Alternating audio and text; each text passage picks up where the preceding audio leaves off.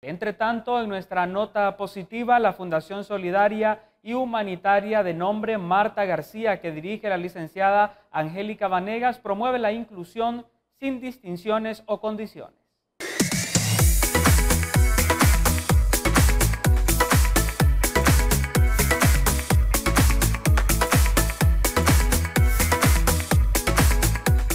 A través de la Fundación Marta García, que dirige la licenciada Angélica Vanegas, se está haciendo un bonito ejemplo acá en Villanueva Cortés sobre la educación inclusiva. No hay bullying, vamos a escuchar este bonito relato. Nosotros como fundación hemos iniciado este mes con una campaña eh, al no bullying, ¿verdad? El caso de Angelita nos llama a la reflexión y realmente a meditar, ¿verdad? Los valores y principios por los que están siendo formados nuestros hijos.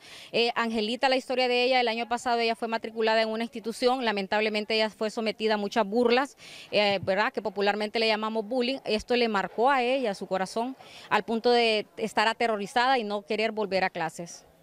Es muy importante cómo fue recibida en este centro educativo por los niños, la sociedad de padres de familia y el amor que le dieron eh, los maestros. Así es, esta institución por eso la buscamos porque conocemos los principios bajo los cuales trabaja el personal administrativo y docente dentro de esta institución y están fundamentados dentro del amor y el respeto y por eso hemos confiado en esta institución el corazón de Angelita. ¿Cómo se llama el centro educativo? Eh, Ángeles Little School.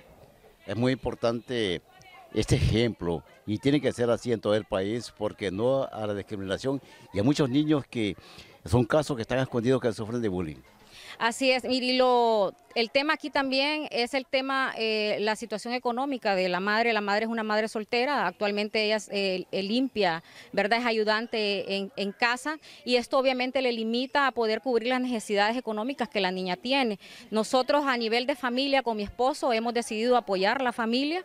Eh, nosotros hemos adquirido el, compromiso de la, el, el, costo de los libros, la matrícula ha sido donada por la, por la escuela, útiles y uniformes han sido donados por, eh, con nosotros como familia y como fundación estamos, hemos iniciado este programa integral que obviamente no termina aquí, ¿verdad? Es un programa de seguimiento donde la niña pueda desarrollar habilidades de integración con sus compañeritos y, y, con la sociedad. En la nota positiva de hoy les informa Douglas Padilla, Visión siempre junto a ti.